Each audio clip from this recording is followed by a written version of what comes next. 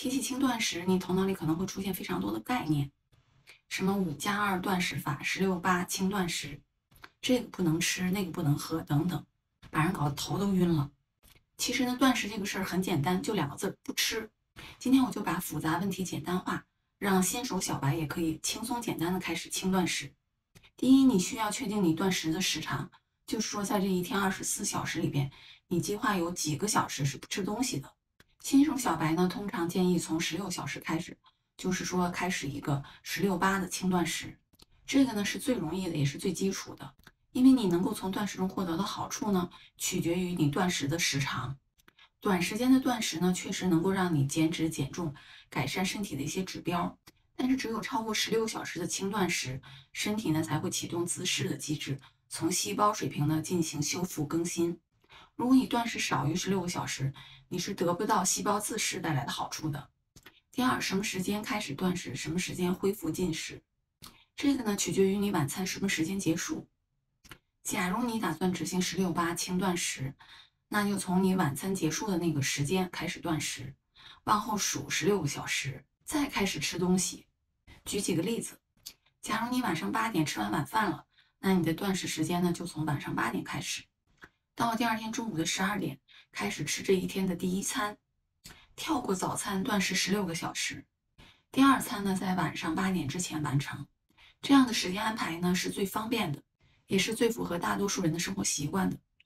如果你的晚餐呢是晚上九点钟才吃完的，那么你要到第二天中午的一点才开始你这一天的第一餐。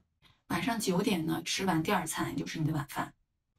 如果你晚饭吃的比较晚，十点钟才吃完，那么你第二天的第一餐呢，就是中午两点开始，晚上十点前呢吃完第二餐。具体的时间安排呢，你自己要算一算。要提醒的一点是，从中午到下午那个两餐之间呢，不要吃零食，不要在正餐之间摄入额外的热量，也不要频繁的去刺激胰岛素。第三，一天吃几顿？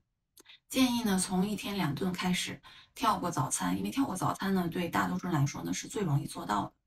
小基数呢，一天两顿就可以有非常好的减脂减重的效果了。大基数呢，可以从一天两顿慢慢过渡到一天一顿，也就是 OMAD One Meal a Day，一日一餐，把这个断食的时间呢拉得更长。这个呢，对大基数来说，减肥的效果呢会更好。第四，进餐的时候可以吃什么？首先呢，你需要含丰富膳食纤维的食物，比如说绿叶菜，因为膳食纤维呢可以产生非常强的饱腹感，而且纤维素呢它消化的时间长。绿叶菜里面呢还含有非常丰富的维生素、矿物质、微量元素，营养密度非常的高。这样呢你就不容易觉得饿，不会说才过了几个小时呢你就觉得非常饿了，饿得肚子咕咕叫。你还需要多吃一点脂肪，因为脂肪呢消化的慢。另外呢，它还比较油腻，容易产生饱腹感，而且一克脂肪呢就能提供九卡路里的热量，单位质量的热量更高，能让断食持续的时间更长。最后呢，你还需要适量的蛋白质。简单一句话，生酮饮食或者是低碳高脂的饮食呢，是轻断食的最佳拍档。两者搭配使用呢，减脂减重的效果是最好的，对身体的健康呢也最有益。如果你是普通饮食，不是生酮饮食或者是低碳饮食呢，也可以进行轻断食。但是最好呢，你吃的这个食物里边呢，百分之八十是这个比较健康的，没有经过精加工处理的食物，剩下的百分之二十呢，可以是精加工的，不是那么健康的食物。第五，断食的时候可以喝点什么？不吃东西断食的时候，你可以喝的东西呢有这些：一、黑咖啡。